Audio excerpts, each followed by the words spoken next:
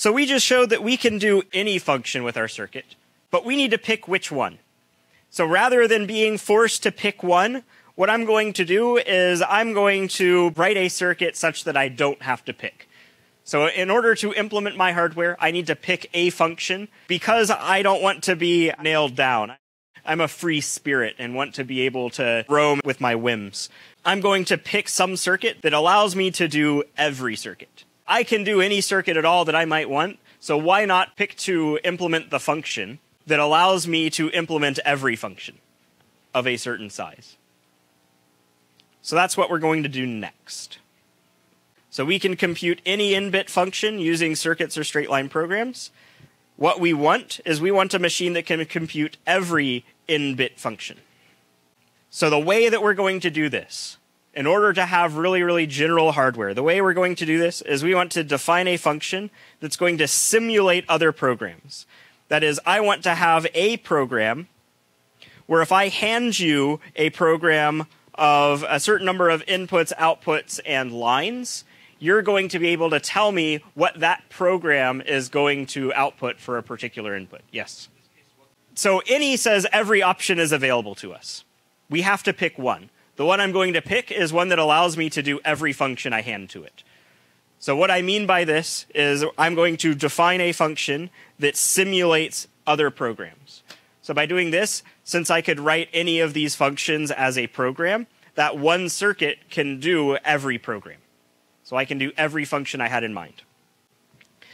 Keeping in mind, the program that I write is going to have to be a little bit bigger than the program that I simulate give an idea for how we might do this, let's actually look at how programs get run on your computer a little bit.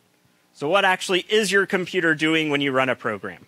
Basically, what your computer does is it's going to have some table that represents all of the variables. Typically, you hear it referred to as like the stack or the heap or something like that. You've got some memory that your computer has that keeps track of all of the variables and their values.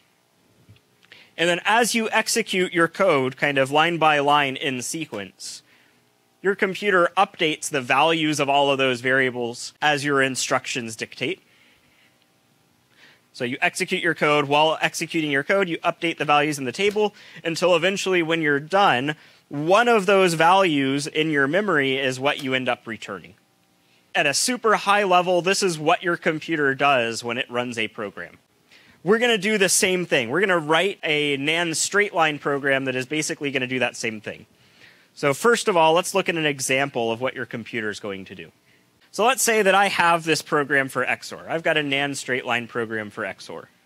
What the computer needs to have is it needs to have this table where it's got every variable in the table. So in this case, we have one, two, three, four, five, and then we're going to say the return is the sixth variable here. What are our variables? We have A, B, U, V, W, and return. And as we execute our program, we're just going to assign these each of these variables the value that it needs. For instance, if I run this input on let's say 0 1, we start out with A and B being defined because those were my input variables. And then the next thing we do is we figure out what should the value of U be? Well, U is the NAND of A with B. So A NAND B, that is 1. And then the next thing we do is we figure out V. What is V? Well, V is the NAND of A with U. So that's 0 NAND 1, which should be 1. And then what is W? Well, W is B NAND U. So what is that? Well, that's 1 NAND 1, which is 0. And then we're going to return V NAND W, which 1 NAND 0 is 1. So our return value is 1. So this is essentially what your computer is going to do while it's doing XOR, this implementation of XOR. If we can figure out a way to represent our program as a bit string, and we can figure out a way to do this table updating thing with just NANDs, then we can simulate any program at all. So this procedure that I just described, we're actually going to be able to write a NAND straight line program that does the same thing as that procedure. For every single line in the program, we sort of update the value in that memory, and we're going to see that we can simulate that program. So the first thing that we're going to need to do in order to actually simulate our program is to figure out how we can represent our program as bits. We're going to define this function that I'm going to call eval. We're going to hand it a description of a circuit or a description of a program and an input, and it's going to evaluate that program for that input. It's going to do the same thing that that program did on that input. Eval is going to be parameterized based on the size of the program. We're going to have a different eval function depending on how big the program is that we're going to try to simulate. And we're going to be handing it the program as the input. We can only do programs up to a certain size, is the issue here.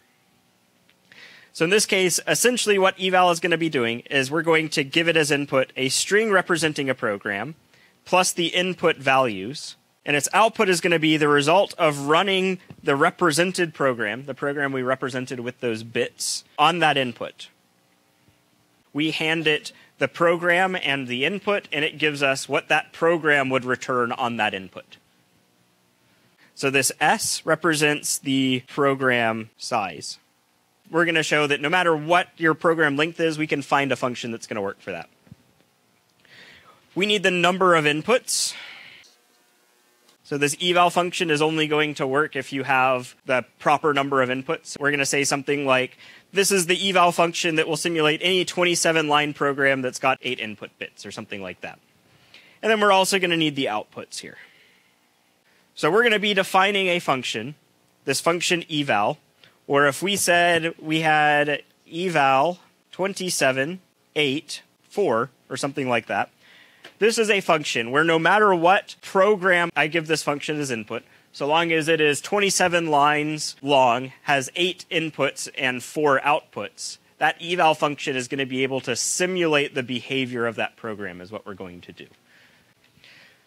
So, next class, what we're going to do is we're going to talk about the details of this eval function. We're going to talk about how this could work, uh, how it is that we can represent programs as bits, and exactly all the pieces for how we can do this table simulation.